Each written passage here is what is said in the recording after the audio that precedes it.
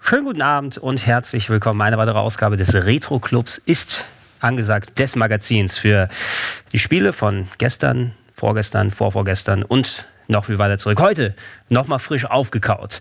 Ja, ausnahmsweise sind wir einmal nicht live, so wie wir es sonst machen. Also nicht wundern, dass ich nicht direkt da auf jede kleinste Sache im Chat dann anspringen werde, denn ähm, wir haben gerade sozusagen ein aktuelles Projekt am Start, was ein bisschen Präferenz, gerade was gerade noch läuft. Wir nehmen, äh, wir nehmen nämlich gerade den neuen Plauschangriff auf. Und äh, ich glaube, da ist es okay, wenn wir damit gerade beschäftigt sind, dass wir den Retro Club einmal vorab aufsetzen. Das macht aber nichts. Dafür habe ich euch eine schöne, sehr, sehr bunte Mischung vorbereitet. Es wird auch die letzte reguläre ähm, Folge des Retro Clubs vor dem großen Schocktober sein. Fünf äh, gruselige Donnerstage. Ja, im Oktober werden wir damit verbringen uns äh, den Grusel-Games von gestern, äh, ja, denen auf den Zahn zu füllen, uns damit auseinanderzusetzen. Ich werde ein paar schöne, echt äh, vielseitige Horror-Specials vorbereiten, aber heute soll es noch ein bisschen regulärer sein. Ähm, letztes Mal waren wir relativ japanolastig, heute versuche ich das mal ein bisschen bunter zu gestalten in der Richtung, dass wir was aus dem Westen und aus Japan haben, die große Historie also so zusammenbringen. Und äh, als erstes möchte ich zwei fleißigen Tänzern danken. Ja, die folgendes der Sendung gemacht haben, The 11th Hour. Und da drin ist noch was, warte mal, wenn ich es hier aufmache, weil das hat ja nicht so eine große Packung. Äh, 11th Hour und ein Spiel namens, hier haben wir es, Burn Cycle für den PC. Ich dachte bisher, dieses Game gibt es nur fürs Philips CDI, eine alte Konsole von Philips, die wirklich nicht besonders gut war, mehr ein spielbarer ja, Video-CD-Player als den Spielekonsole mit Fernbedienung statt vernünftigem Gamepad. Ähm, in Darmstadt haben die Hübschen aufgelegt, Tim und Schröckert. Und äh, zwei der Gäste haben dort äh, ihnen diese Spiele für mich hier vermacht. The Eleventh Hour, ein schönes äh, Grafik-Adventure, von dem ich viel gehört habe, es noch nie gespielt habe persönlich, aber es wäre potenziell ein Titel, Gott, diese Verpackung wieder zusammenzukriegen, das ist so schwierig verglichen mit heute.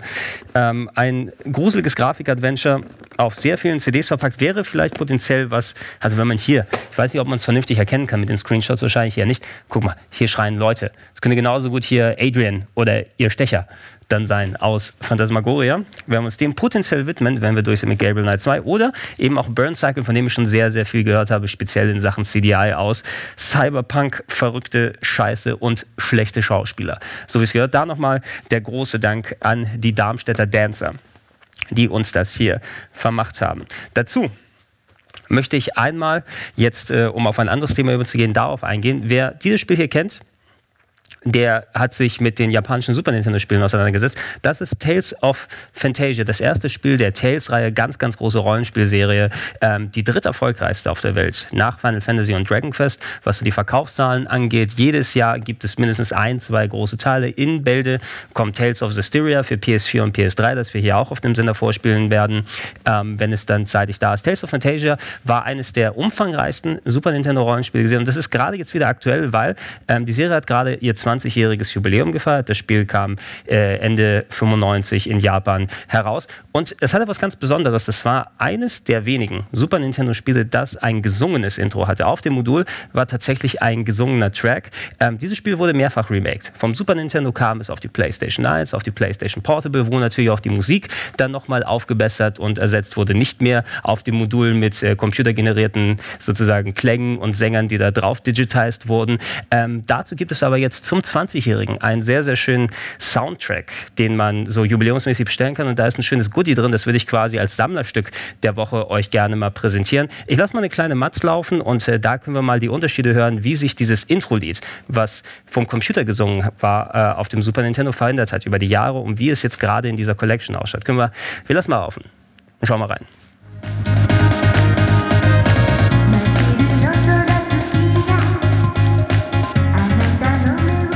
Ja, da sehen wir, ihr hört, hört sich alles ein klein wenig dumpf an, weil das sehr, sehr stark komprimiert werden musste vom Super Nintendo, damit es aufs Modul mit drauf passt. Aber es ist tatsächlich Gesang. Ne? Und äh, damals, als man in Japan das Modul für die Importeure hier, dachte man, hä, sowas kann doch gar nicht funktionieren auf dem Super Nintendo. Wahrscheinlich äh, müsste von dem riesigen Modul der Song alleine selbst in dieser Version einen nicht beträchtlichen Anteil des Moduls angenommen haben. Das wurde besser, nachdem man knapp sieben, acht Jahre später das Spiel auf die PlayStation Portable umsetzte und da tatsächlich das gleiche Lied nochmal neu gemacht hat in richtig gesungener Fassung. Klingt natürlich ein bisschen besser, verliert ein klein wenig am Charme, finde ich, verglichen mit diesem dumpfen Super Nintendo gelöt. Aber wie schon versprochen, von dieser Art von Mucke geht es in der Collection. Das ist hier dabei. Ich schweige mal und wir hören mal zu. Wir können gerne mal schön laut machen, Regie gleich.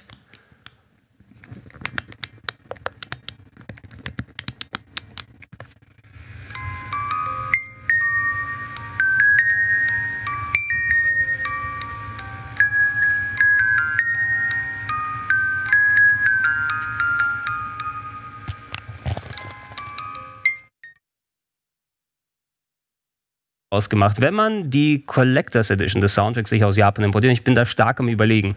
Gerade im Moment, ich finde den Soundtrack an sich ziemlich cool. Wenn ich mich nicht irre, Motoi Sakuraba hat den komponiert, der viele von den Tales-Sachen und Star Ocean und äh, Dark Souls zum Beispiel auch komponiert hat, die Musik. Äh, also ein sehr bekannter und äh, sehr umtriebiger Musiker aus Japan, dass jetzt auch noch diese klassische Titelmelodie auf eine kleine Spieluhr umgemacht wurde, hat ja auch immer relativ viel Bedeutung bei japanischen Games, so Musiken, die auf Spieluhren gespielt werden, auf Chrono Trigger, Xenogears, wie sie alle heißen. Ähm, das Ding ist, der, der Special Soundtrack kostet schon eh schon sehr viel. Wenn man sich den so kauft, ist man irgendwo bei 60, 70 Euro. Ich glaube, da würde man noch ungefähr nochmal 50 drauflegen können, wenn man die Version mit der Spieluhr haben will. Deshalb ah, bin ich noch ein klein wenig am Zögern, aber als Fan der Mucke und speziell, äh, was sie jetzt damit angestellt haben, cooles Ding. Wer sich dafür interessiert, kann sich im Netz gerne umschauen. Der Tales äh, of Fantasia 20th äh, Anniversary Soundtrack in der Box, in der Collectors Edition ist da diese Musikbox mit dabei. So, widmen wir uns dem nächsten Thema und von computergenerierten animierten Filmen auf dem PC über japanische Super Nintendo Rollenspiele gehen wir auf den C64 wieder. Und da möchte ich euch eine kleine Seite vorstellen, die mein Auge erfasst hat. Wir können gerne mal auf den Laptop gehen, ich kann das gleich mal zeigen. Games That Weren't ist eine Seite, die, glaube ich, in England primär betrieben wird, die sich damit auseinandersetzt. Zwar hier sehen wir die C64-Abteilung, es gibt da aber auch noch über andere Spiele äh, viel zu erfahren, die sich mit Spielen auseinandersetzen, die verloren gegangen sind. Das bedeutet, Spiele, die in der Entwicklung waren, wie hier beispielsweise das äh, Simon Nichols Long Lost Road Routine, das ist ganz neuer Turbo Outrun. Ein Programmier, also was, was Leute programmiert haben und aus irgendeinem Grund sind diese Spiele nie erschienen. Die kümmern sich darum, dass sie mit den Entwicklern sich auseinandersetzen, speziell im C64-Bereich und potenziell einfach mal Discs auftun, äh, wo diese Spiele, die nie rausgekommen sind, dann raus, äh, nochmal rauskommen, werden vielleicht fertig programmiert und dann äh, da released, damit jeder sich das angucken kann. Und das hier hat mein Auge speziell gefangen. Daffy Duck, Recovered and Released. Eines der meistgesuchten, äh, oder besser gesagt der berüchtigsten ähm, C64-Spiele, relativ spät ausgekommen, 91, 92. Das war eigentlich schon das Jahr des Abgesangs für den C64 gewesen, wurde mit Lizenz in England entwickelt, ein Lizenzspiel mit Daffy Duck, ist aber nie offiziell erschienen. Und jetzt wurde das tatsächlich irgendwo hinten im Schrank bei einem der Entwickler gefunden und das Spiel nochmal äh, aufgelegt. Das werden wir uns gleich tatsächlich angucken, ein wenig reinspielen. Ich habe es auch schon ein wenig ausprobiert. Sehr interessant, solche Sachen da zu sehen und viele andere C64-Perlen, die immer weiter aufgetan werden. Ein Klon von Armorlight sieht man hier, einem äh, äh, Horizontal-Shooter, Horizontal-Vertikal-Shooter. Es gab tatsächlich äh, P-Cross, mal dafür gehabt und äh, etliche, etliche andere Sachen. Ähm, ähnlich wie wir es mit den äh, hier mit den Magic Disc und Game On Magazinen machen, habe ich hier gleich nochmal das vorbereitet. Wir können gerne vom Laptop erstmal wieder weg, dann kann ich einmal das Spiel vorbereiten, liebe Regie. Da reingucken äh, und mir ein paar dieser Prototy äh, Prototypen habe ich mir angeschaut und das Duffy Duck Spiel auch. Ich gehe mal kurz hier auf Laden. Was können wir da? Da. Okay, ah, warte mal, warte mal. Ähm, bevor wir das Duffy Duck Ding machen, wir können gerne jetzt schon mal auf das Ingame raufgehen. Da habe ich ein paar der Images mir mal geholt, die die Leute dann recovered haben. Was könnten wir denn nehmen? Äh, wie hieß es denn um? Ah, das. So. Dann gucken wir mal, ob ich das laufen lassen kann. Gerne aufs Ingame wieder rüber, liebe Regie. Und da wusste ich zum Beispiel auch nicht, dass sowas hier programmiert wurde. Ja? Here you have a not, uh, here you have not a secret part, but a secret preview game. Started some 10 years ago and most likely never going to be finished. Press space, okay? Vielleicht erkennt ihr dieses Spiel. Mythos. Battle for Ivanor. Hm. Was könnte das sein? Was könnte das sein? Gehen wir weiter. Es ist fucking Legend of Zelda. Ja, die haben tatsächlich ein Zelda 3 und es passt vielleicht. Wir können noch mal kurz auf die totale gehen, Regie, weil ich habe passend dazu wir haben sogar geile Musik dazu, ne? Mein Zelda 3 T-Shirt angezogen, ja, die Häschenwelt in der dunklen Welt und hier passend dazu. Es wurde eine Demo programmiert. Gerne wieder aus Ingame Ich muss mal gucken, ob ich kann ich damit jetzt steuern? Ne, ich muss dann immer den Controller wechseln. Wie war das? Alt F10 Joystick Port switched. Ja, das muss ich nochmal einstellen. Das wäre immer so die Kunst. Welcher Controller ist eingestellt auf dem, äh, auf dem C64? So, wo war das nochmal? Alt 8, zurückgehen. Und, oder war das Menü über Escape? Über Escape war es. Ich habe ganz vergessen, wie die Menüs hier funktionieren bei dem Teil. So, F10 war das Menü, alles klar. Also mal gucken. Äh, Options. Input war Alt I. So, Adapter Port muss man einstellen. Oder Adapter Port war es, ne? Genau, Adapter Port 1 und 2. Ich glaube, es spielt sogar der falsche Sound hier ab. Und ich denke schon, das ist ja keine C64-Musik. Moment, da muss ich nämlich was abstellen. So, das ist nämlich für später in der Sendung gedacht. Ach, guck mal, so ist das, ne? Da muss ich das hier nochmal ausmachen.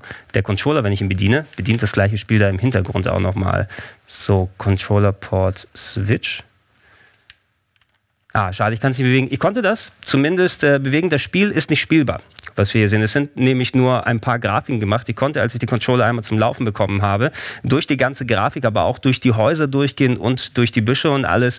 Äh, es ist einfach nur eine Grafikdemo, die gemacht wurde. Ich hatte mich schon ein bisschen gefreut, dass da tatsächlich im C64er-Look dann Zelda nachgemacht, äh, nachgemacht wurde. Dem war aber nicht so. Das ist was, was wieder zutage gefördert wurde. Es wurde vor zehn Jahren aufgehört, daran zu arbeiten. Und Sowas findet sich zum Beispiel auf der Seite wieder. So, dann gucken wir mal, ob wir da nochmal Daffy Duck an den Start bekommen, weil das hat tatsächlich funktioniert. Wir laden es einmal. Das wurde tatsächlich eben auf, den, äh, auf Diskettenlaufwerken eines der Entwickler gefunden, der speziell von der Seite kontaktiert wurde. Es war nicht zu 100 Prozent wert. Ich glaube, da wurde tatsächlich noch mal ein bisschen Programmierarbeit investiert. Aber von dem, was ich bisher gespielt habe, also mich wundert, dass dieses Game damals nicht rausgekommen ist, ist zwar ein typisches C64er-Game, was sich ein bisschen hakelig spielt, ein bisschen adventurig, undurchsichtig. Wo muss ich Items einsammeln? Was muss ich machen? Aber geile Mucke hat es auch. 92 entwickelt, Hightech-Software. Ähm, aber ich fand es sehr interessant als Kuriosität. Und vor allem äh, sehr interessant für jemanden, der sich mit der Geschichte solcher Systeme und Games auseinandersetzt, wie viele verlorene Games, halbfertige Sachen sich auf Disketten alten noch befinden mögen. Das ist schön, dass man in der Zeit des Internets solche enthusiastischen Leute hat, die sich dem annehmen und das machen können. Programming Graphics, David Saunders, Ashley Rutledge. Die meisten Sachen, die diese Seite hat, Games at Warren sind natürlich primär aus England, weil aber auch in England sau viel entwickelt wurde, was so alte Computer angeht.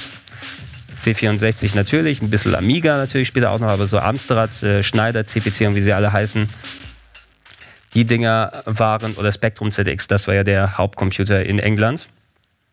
Da finden sich echt viele verlorene Sachen. Da Daffy Duck bei Digital Design. Mal gucken, dass der Controller gleich funktioniert. Hatte sogar wirklich ganz gute Musik. Die Steuerung hat einigermaßen funktioniert. Ich glaube, man kann durch das Spiel auch ganz gut durchstellen. Man muss immer auch dran bedenken, als ich es ausprobiert habe, äh, wie kann ich nochmal das machen? Wie funktioniert jenes und anderes? Äh, weil du einfach nur einen Knopf hast. Einen Knopf und ein Steuerkreuz, was du anstellen kannst. Okay. Music. Press Fire to Start. Machen wir nochmal Alt. Das haben wir auf Deutsch. Obwohl, da oben sehe ich die deutsche Flagge. Press Fire to Start. Will das Gamepad nicht. Dann machen wir nochmal Alt I, Input, Joystick Adapter, Calibrate Adapter. Der müsste ja eigentlich so. Das Gamepad erkennt er. Ja, aber ist immer eine Kunst bei diesen Dingern. Joystick Device 1. Okay, so. Ah, es läuft. Sehr schön, sehr schön. Also schaut mal ein C64-Spiel aus dem Jahre 1992. Ich kann mit Duffy hier herumlaufen. Ich kann springen. Der Hund ist uns wohlgesonnen. Keine Angst. Der ist äh, hier angestellt auf dem Backlot der Warner Brothers. Ich kann auf diese Gegenstände draufspringen. Es gibt mir Punkte und ich verliere keine Energie. Ich kann sie aber nicht killen. Anscheinend. Was ich anstellen kann, ist meine einzige Taste gedrückt halten und, äh, warte mal, und reingehen in die verschiedenen Gebäude und ähm, es wird einem nicht gesagt, was man anstellen kann, was man anstellen sollte, sondern einfach mal schauen und rumprobieren. Ich kann auch mit dem hier auf dann reden. Ah, guck mal, tatsächlich auf Deutsch. Hallo Kumpel, wie geht's? Irgendwelche Tipps? Hey, hilft das vielleicht? Du fieser Kerl, was machst du da? Mark Anthony heißt der Hund. Hallo Kumpel. Hallo Duffy. Äh, wie geht's? Ich bin ein bisschen hungrig. Oh, wir können dem vielleicht was zu essen bringen. Irgendwelche Tipps? Das Tor muss aufgemacht werden. Hey, hilft das vielleicht? Nein, nee, ich habe auch keinen Gegenstand, den ich ihm geben kann. Ich kann nur einen Gegenstand zur Zeit haben. Du fieser Kerl. Tschüss, Duffy. Oh, was machst du da? Ich suche den Essenskorb. Okay, dann drücken wir einmal Q to exit. Da muss ich einen Essenskorb finden und mich einmal hier umschauen, wo ich den finden kann. Guck mal, hier ist Geld. Aber kein Essenskorb. Das Geld bringt mir nur Punkte. Schade, dass man die wirklich nicht irgendwie killen kann permanent, ne? Das nervt mich ein bisschen. So, aber kann ich den Aufzug? Der Aufzug ist nicht da. Okay. Kann ich den rufen? Ne, von hier aus nicht, aber ich muss vielleicht den oberen Stock nehmen. Das habe ich nämlich auch schon ausgelotet. Hier. So, gedrückt halten und hoch. Kann ich die Leiter hier hochklettern. Durchs Fenster und... Oh. Ich habe nochmal Geld gefunden. Was liegt da? Luni-Karte. Okay. Kann ich den Aufzug hier rufen? Da ist der Aufzug tatsächlich. Okay. Wie kann ich ihn bewegen? Hoch, runter.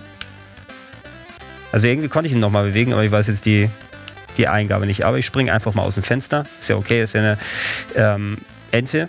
Der landet wieder. Wo kann ich diese Luni-Karte benutzen? Ich kann mal hier mit Schweinchen Schlau reden. Porky Pig. Ich kann dem, dem kann ich auch sagen, du fieser Kerl. Hallo Kumpel. Oh, da ist das Deutsch nicht richtig drauf. Mir geht's, äh, danke. Okay, der hat immer gestottert. Hast du B -B Bonbons? Hilft das vielleicht?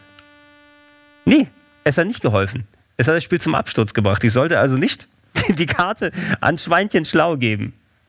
Dann laden wir das doch nochmal neu. So, Alt 8.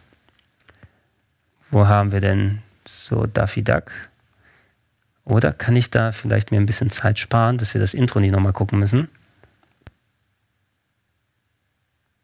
Nee, es funktioniert leider nicht. Einmal will ich es nämlich noch probieren, schade.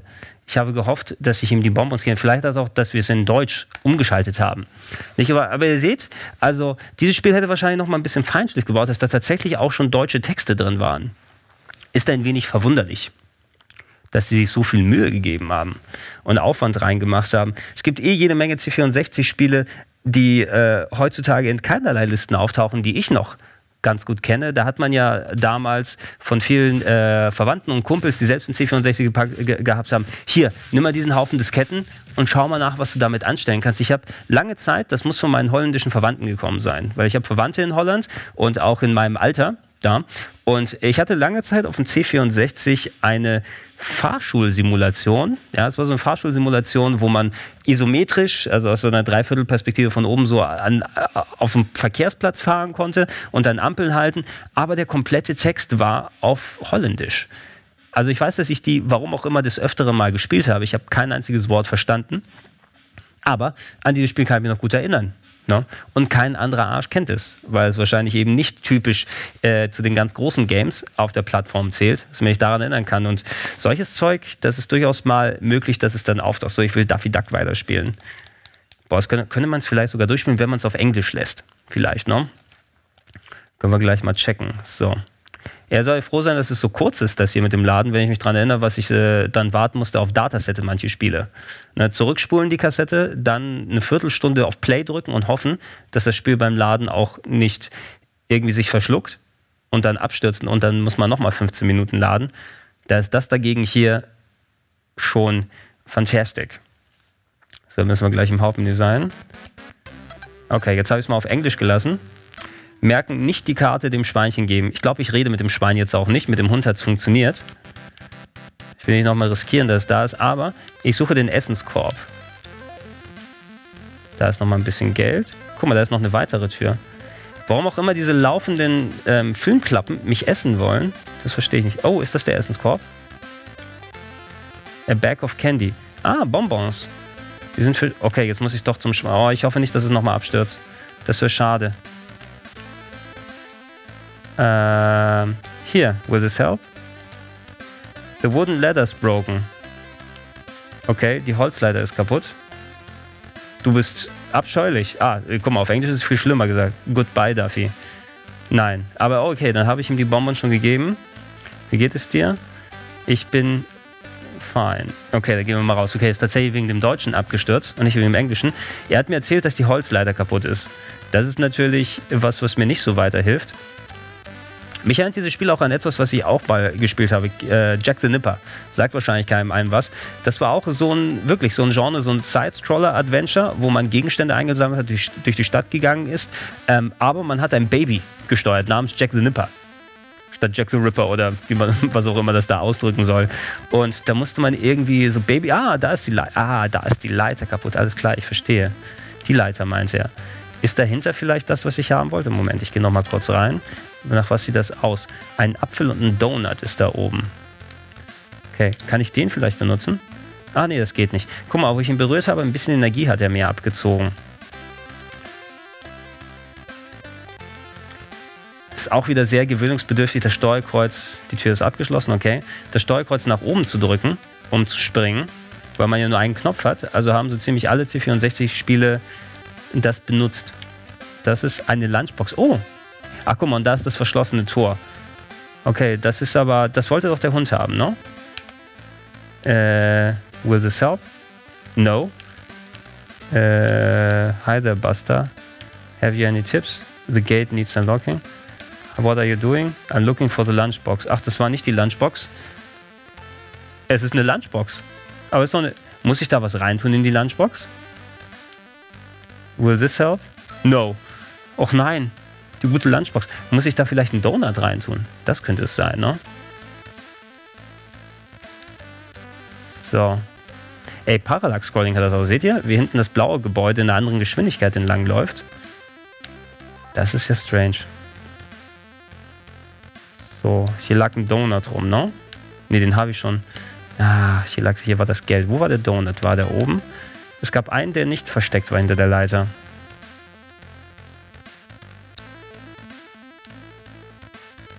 All die kleinen Kids, die damals dachten, wo bleibt denn das Daffy Duck Spiel? Ich warte immer noch drauf. Aber guck mal, sobald ich die Karte aber nehme, hinterlässt der die Lunchbox. Ich kann tatsächlich nur einen, einen Knopf haben. Kann ich mit der Karte vielleicht den Aufzug benutzen?